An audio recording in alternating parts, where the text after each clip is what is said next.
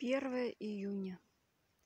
Зацвел Иван-чай. Правда, тут несколько всего лишь цветочков расцвело. Но тем не менее, такую рань, как все рано в этом году. Вот его здесь сколько будет. Вот такой он красивый.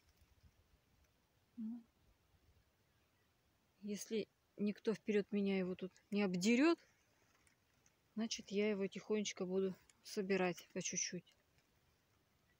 Вот такой красивый цветок.